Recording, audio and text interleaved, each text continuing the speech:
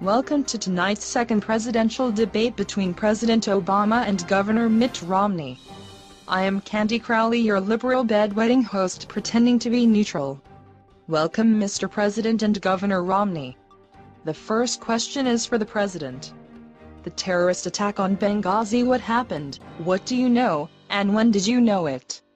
Thank you for that thoughtful question Candy but this election has nothing to do with Benghazi, it's all about getting young girls to lose their virginity by voting for me. Good answer Mr. President. Wish I was still a virgin. What do you say Governor Romney?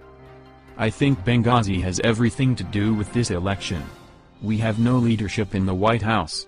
The president let those four Americans die without lifting a finger to help. Bin Laden is dead and General Motors is alive. You're damn right. Okay next question is on the economy.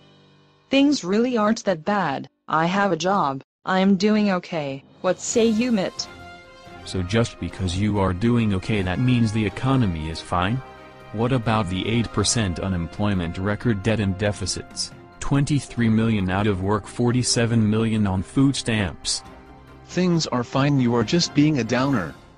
Those are just a bunch of stupid numbers, Bin Laden is dead General Motors is alive. Yes Bin Laden is dead General Motors is alive.